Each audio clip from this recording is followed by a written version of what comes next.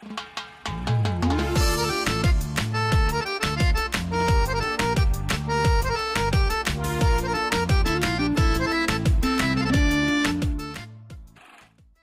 watching Bread and Roses, a weekly political social magazine that's broadcast in English and Persian by New Channel TV. Hello, everyone. I'm Maryam Namazie. And I'm Fariborz Pooya. In this week's program, we'll be interviewing Rayhana Sultan on hashtag ex-Muslim because. We'll also be talking about Raqqa never being silenced, Iranian and other refugees at the Macedonian border, the fact that the Saudi government has um, threatened to sue if you compare it with ISIS, everyone has, as well as an insane fatwa on the fact that the earth is stationary, a wonderful, inspiring billboard uh, being cut down by a woman Kurdish fighter, as well as the Turkish Atheists Association calling for equal treatment for atheists. Don't go away.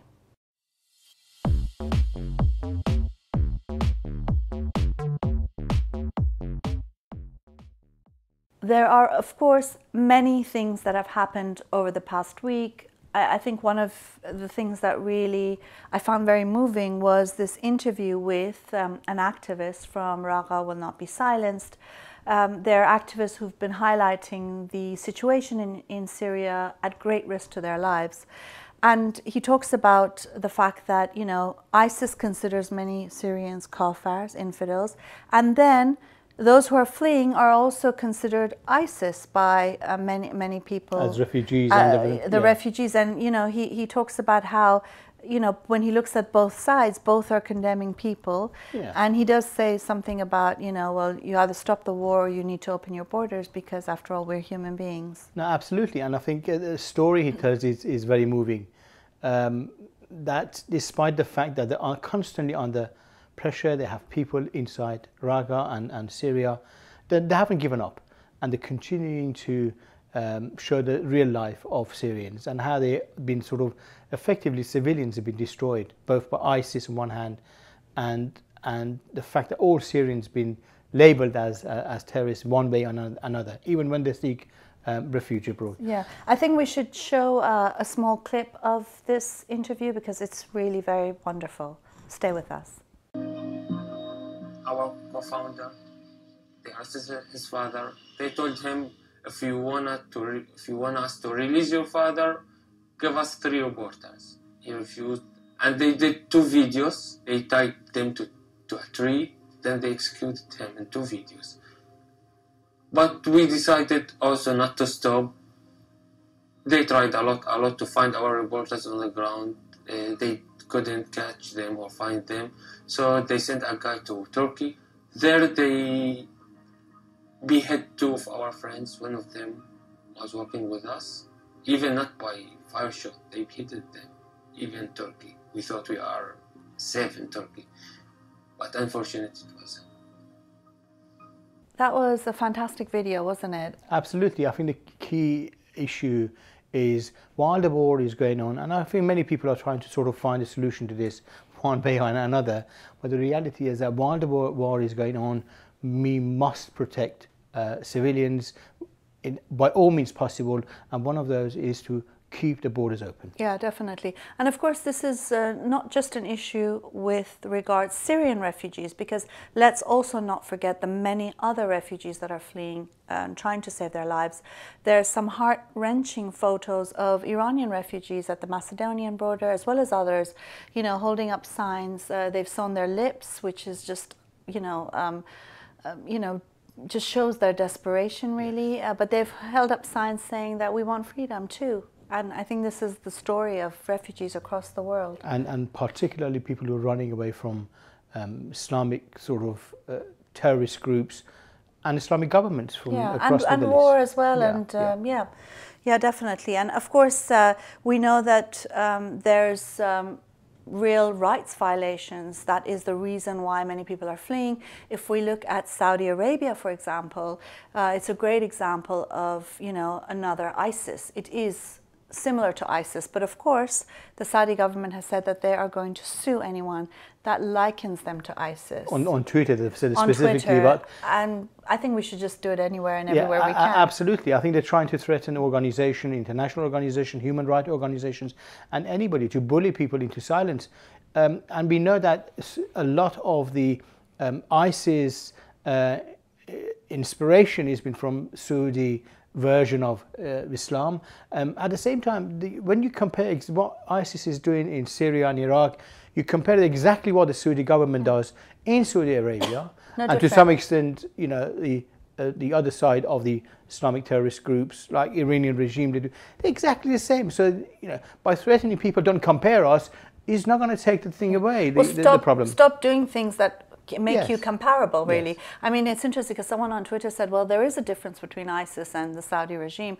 One of them sues you if you mention it on Twitter, the other just goes ahead, you know. And you up, yes. But just a, a couple of cases that I think we need to highlight. One is of the 35 year old Palestinian poet Ashraf Fayadh. He's been sentenced to death uh, for apostasy. And also, there is an unnamed Sri Lankan woman. She's a young woman. I'm trying to say, I don't think her age is here, but she has been sentenced to death by stoning for fornication. And these are cases that we need to highlight further and put pressure on. and this, this shows that the uh, Saudi government is exactly the same as ISIS, as how it, it behaves. There's no difference. No difference.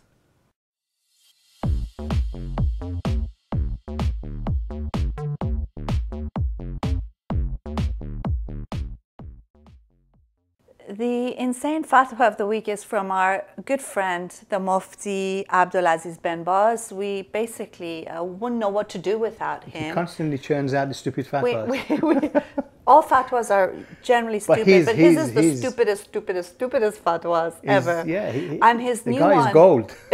gold, Jerry. the, the new one is about the fact that he says if The- you think that the Earth isn't stationary, you are a kafir. That means the Earth is stationary and sun revolves around the Earth.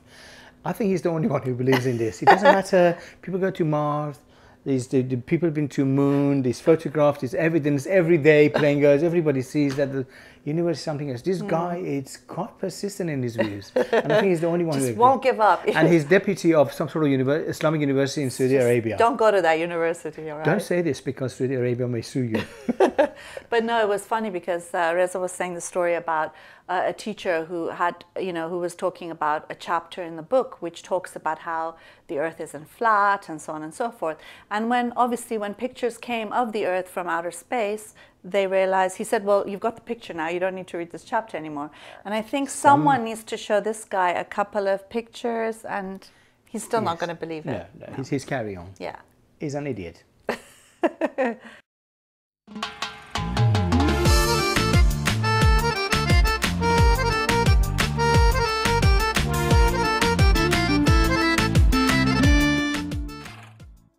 Earlier this week, we did an interview with Rayhana Sultan on the hashtag ex-Muslim because what it was about, what it wanted to achieve, and why it's so important.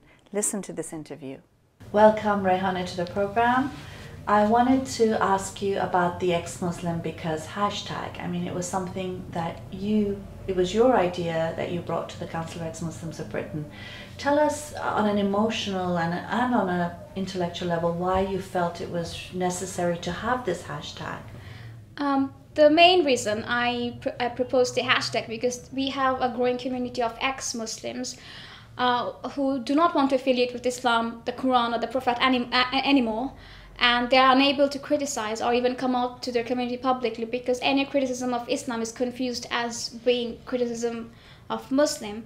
And at that moment, I mean, you're at a risk of being arrested as being uh, on, on hate crime. You don't, if you if you're an activist, you don't get get in, you get disinvited from universities to talk on important issues, and even in workplaces. I mean, if you are uh, um, um, an ex-Christian, uh, no one would care. But if you're an ex-Muslim, it becomes very controversial because people think you are an anti-Muslim. And right now is the time to actually separate this, separate the criticism of idea from the criticism of people, because we are trying to tell the world that criticizing Islam is not the same as criticizing Muslim.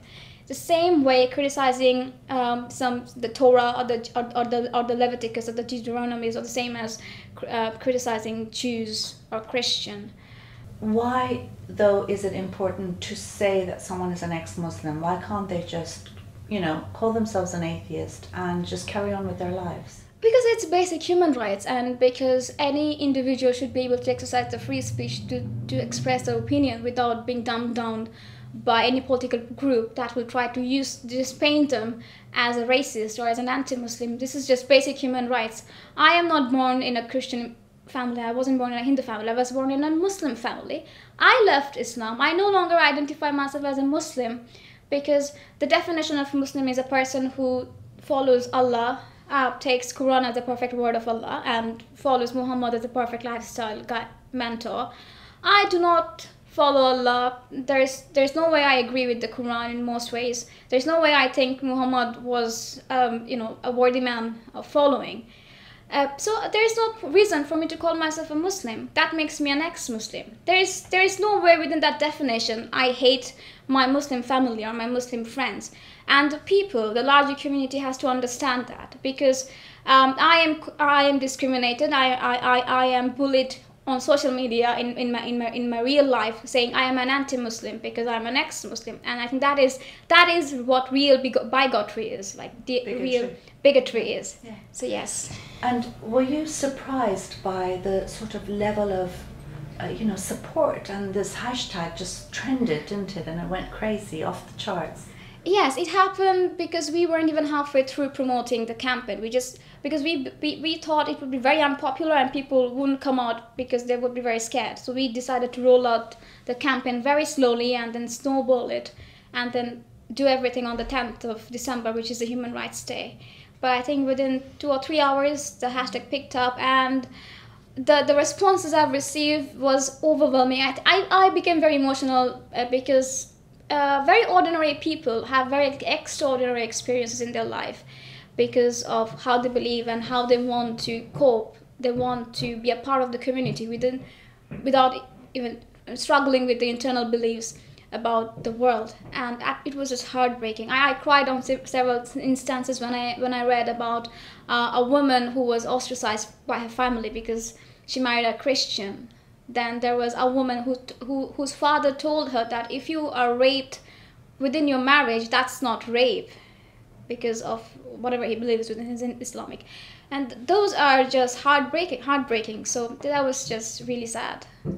I mean, it was interesting because uh, you did hear people saying on this hashtag that it was uh, some of the best moments of their life. Yes. And the fact they were able to speak. Yes. Tell, tell me some more of the funny and other things. What did you put yourself? I in? said, I was more, I think, more comical because, yeah, I said I I'm an ex-Muslim because there there are no 72 virgins for me. That's just unfair. It's just within Islam you say that a, a man can have as many sexual partners as possible. You can take sex slaves during Muhammad's time, but whenever a woman has more than one partner, she's she's like slut shamed.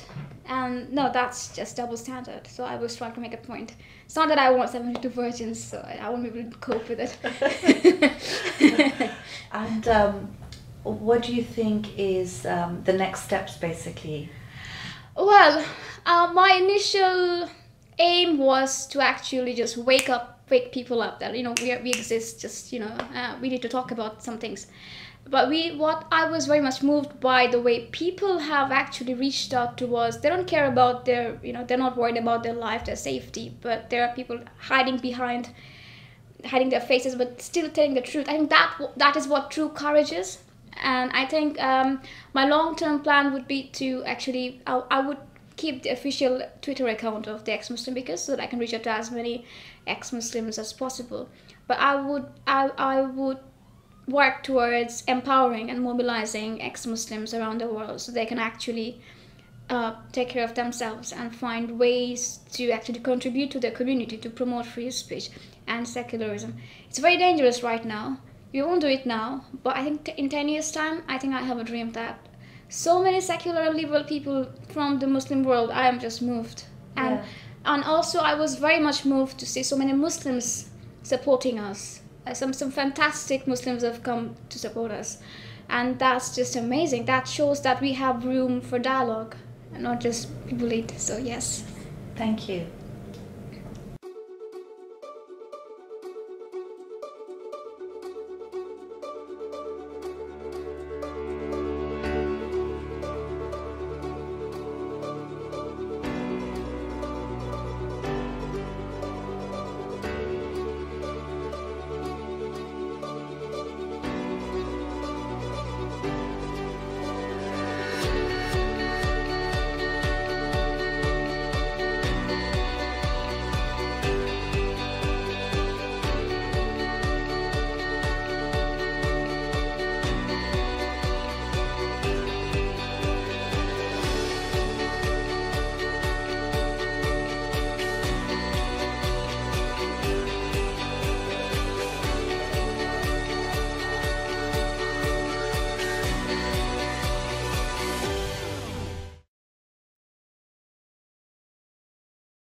We hope you enjoyed the interview with Rayhana Sultan. I think she raises some really important questions. I think what's often forgotten in this debate, uh, and which seems secondary, tertiary, whatever, and actually it's the main point, which is the fact that people should be allowed to leave Islam like they can leave Christianity, like they can leave Judaism without being killed and without apostasy laws and threats and intimidation. This is a fundamental human right. Absolutely. And suddenly, as soon as this comes out and everybody recognizes the issue, and start saying, shouldn't you be this? Should you really be doing this? That sort of approach to, uh, to the debate. But they the, the thing that they don't see, and we've always insisted on this point, that there is a tsunami of uh, people leaving religion in Middle East. There is a huge secular movement in Middle East, North Africa, and uh, uh, Indian subcontinent, um, and we could we could see this. And this just little moment of a few days of hundreds of thousands of people coming and supporting the hashtag is just the tip of the iceberg. The reality is that the uh, the strength of the uh, secular movement, atheist movement, uh, people who doubt about uh, religion. Yeah, it's, it's, huge. It's very it's huge, huge. Yeah. Actually, that's a dominant trend in uh, in Middle East and North but Africa. But it's not recognized. I mean, in less than a week, 100,000 tweets on this issue. It shows how much of an impact it's had on people. You know, Rayhana talks about crying when she read some of the tweets. And there are people who've said that this was one of the most brilliant moments of their lives. It just shows how much people need to be able to say what they think and how little opportunities they have because there's immediately an accusing finger at you if you dare to criticize and, Islam. And these, or these are the mainstream media who are doing that because they don't want this. They're constantly it seems that they need the current structure, current arrangement that they have. They don't want this to, to change. They don't want people to come and express the view that they actually live in Islam. You could see there is resistance from mainstream media. Well, and, and you can see because it's it's hardly been covered really by uh, mainstream media, given the fact that it was a trending hashtag and it continues uh, to have such a huge impact. Uh, BBC Trending has interviewed me and what I found interesting about the interview was that it was very antagonistic. Mm. And when I looked at their other trending things, it wasn't that way. And I was either accused of, you know, promoting racism because, you know, you're, you, you, uh, Muslims are under attack after Paris, as if Paris has, Islamism has anything to do with ordinary Muslims. And when I answered that, then it became, well, now you're putting the lives of ex-Muslims at risk by telling them to come out. So it seems like I'm a worse killer than ISIS is, you know, at the, at the way they look at people like myself. Absolutely. I mean, they, to say that by expressing view and creating an environment and a framework for people who do not believe in Islam or they want to leave Islam to express the view, you put in their lives and, uh, at risk. It seems that these uh, mainstream media, including BBC, they've never exp expressed or they know nothing about the history of enlightenment, for example, in Europe, that people had to break the, uh, the framework and barriers that there was uh, for them to actually change the, the society. Yeah. And this is what is happening in Middle and, East. And, and the Africa. point I made was that obviously there's safety in numbers. The more people come out, the, the more people are allowed to question. Uh, the, the safer it will be for a lot of people. And also, it's good for Muslims as well, as well as anybody else, because the more of a space that's open for dissent, the more everyone benefits from it. And it protects everybody. yeah, it does protect everyone. Uh, continue, you know, we're continuing this ex Muslim because hashtag, um, we want to gather as many tweets and posts and photos and videos as possible for December 10th, International Human Rights Day, to show very clearly, loudly, and clearly that the right to apostasy is a basic right, no ifs and buts.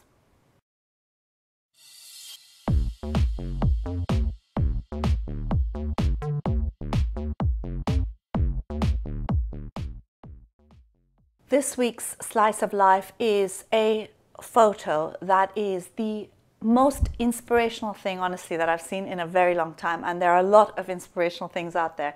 But this is a photo of, as, as you can see on the screen, of a woman, Kurdish fighter, breaking down a poster of ISIS because they've kicked ISIS out of Sinjar Yes, and uh, it's a poster which basically advises women to dress in body bags. It's a body bag. It's a body it's bag. A, it's like a burqa, a niqab. Yes. You can't even see anything of the woman, nothing.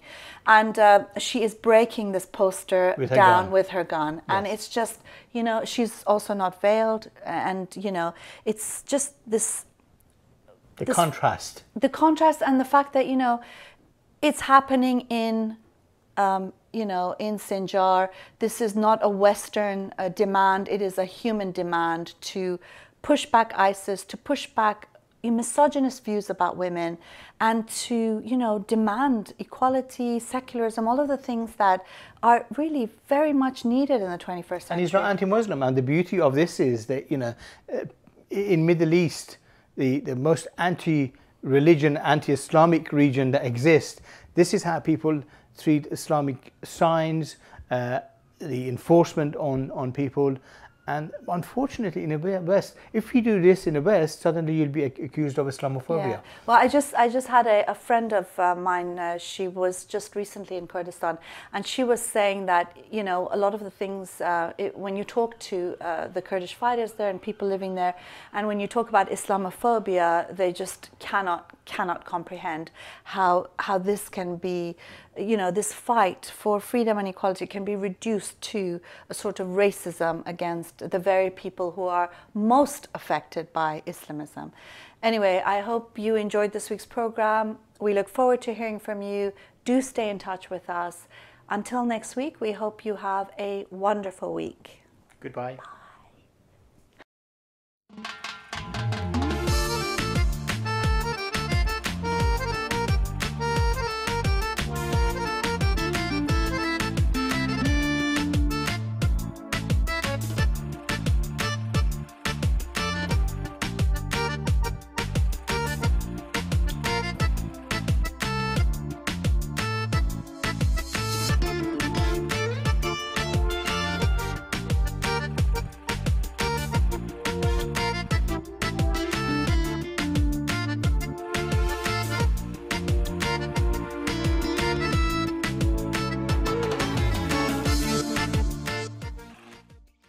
Hi, I'm Maryam Namazie. And I'm Fariborz Pooya. We're hosting a program called Bread and Roses. It's a weekly program that's broadcast in Persian and English in the Middle East and North Africa, primarily Iran as well. And it's also shown on YouTube internationally. And we've been doing this since last May. We're coming up to our year's anniversary, and yeah. we, we've had quite a lot of fun making these videos. We discuss taboo breaking, free thinking ideas. The Islamic regime of Iran has called us immoral and corrupt. And that's why the, you need to support us. We are and the alternative voice in Middle East and North Africa. Of corruption and immorality. So do support us. Here's a short video from Patreon that explains how you can help us with even just $1 a week. That's nothing.